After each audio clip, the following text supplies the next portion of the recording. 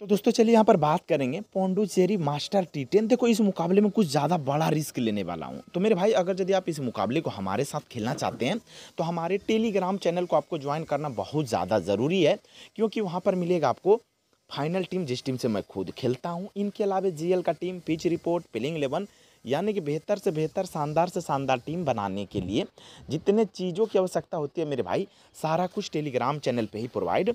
करता हूँ तो आपको ज्वाइन करना किस प्रकार है? तो मेरे भाई, जैसा कि आप हमारा इस प्रकार से वीडियो देख रहे होंगे, ये हो गया डिस्क्रिप्शन इस पर आपको क्लिक कर देना है। जैसे यहाँ पर क्लिक करोगे, नीचे आपको टेलीग्राम चैनल का लिंक दिखाई देगा ब्लू कलर में सौरभ सामाजिक चौरासी, इस पर क्लिक कर देना है। या फिर इससे भी आसान है, मेरे भाई कमेंट देख रहे हो ना कमेंट पे क्लिक करना। जैसे कमेंट पे क्लिक करोगे टॉप कमेंट फ़र्स्ट कमेंट यानी शुरू के कमेंट पे ही टेलीग्राम चैनल का लिंक दिखेगा सौरभ सामाजिक चौरासी ब्लू कलर में, इसी को क्लिक करना है। तो मेरे भाई, जैसे टच करके आओगे तो यहाँ पर हमारे टेलीग्राम चैनल पचपन के सब्सक्राइबर वाले पे आ जाओगे, और बिल्कुल फ्री का फ़ायदा आप उठा सकते हो हमेशा। तो मेरे भाई एम एक्स इलेवन की बात की जाए तो यहाँ पर देख सकते हो, इसके टीम में गेंदबाज की बात की जाए, सरोज वीपी जिनका सिलेक्शन बहुत कम होगा ट्रंप कार्ड हो सकता है, दो ओवर डालना चाहिए।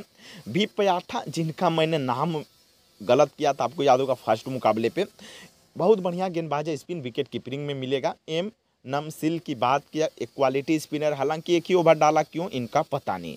संदीप पी डेथ में डालता है, कई बार गुच्छे में विकटें ले जाता है। संजू की बात की जाए, साजू की बात की जाए, कैप्टन भिसी का तगड़ा चॉइस रहेगा, ओपन आएगा, साथ में गेंदबाजी ठीक ठाक स्पिन करता। है एफ़ जिस तरह से इनका करियर रिकॉर्ड वैसा अभी तक प्रदर्शन कर पाया नहीं है। बल्लेबाजी में देखो, विजेश पी ऑलराउंडर सेक्शन में गजब का player hard hitter power play में निपट जाएगा या फिर पावर प्ले में ही अगर यदि आप ड्रॉप करके रखे हो तो आपका नैया खराब कर सकता है। सजू की बात करें, उन्नीस पे छत्तीस साथ में गेंदबाजी तो करता है एफ़ कैप्टन वीसी का बढ़िया चॉइस रहेगा जीएल पे।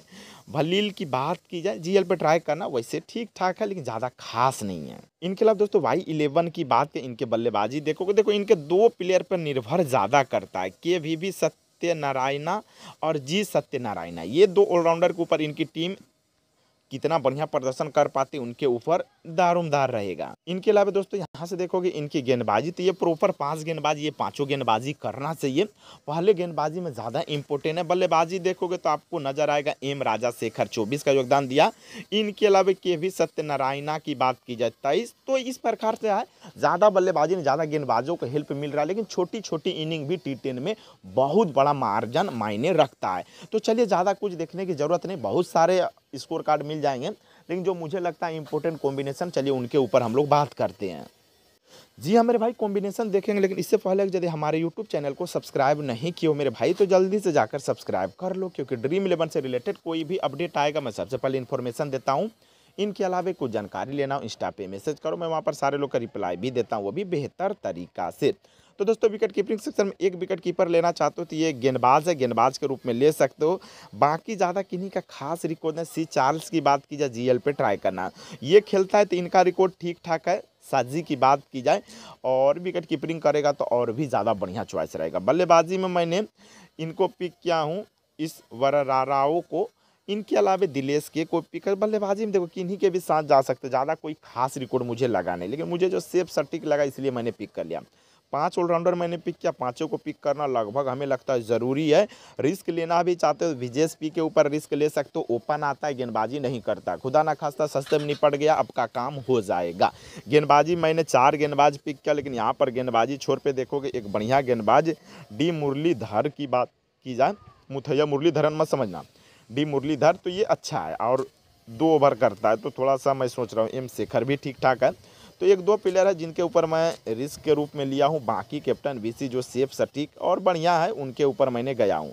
तो मेरे भाई, क्या करो? फ़िलहाल के लिए अब ये टीम सेव करके रख लो। इसमें जो भी चेंज होगा, आपको अपडेट कर दिया जाएगा अपने Telegram channel domestic playing eleven पे। तो आशा करते हैं भगवान की कृपा से हम लोगों का रिज़ल्ट बेहतर जाए। आप लोग भी भगवान से यही दुआ करो कि यह मुकाबला हम लोगों के लिए अल्ट्रा क्लीन जाए।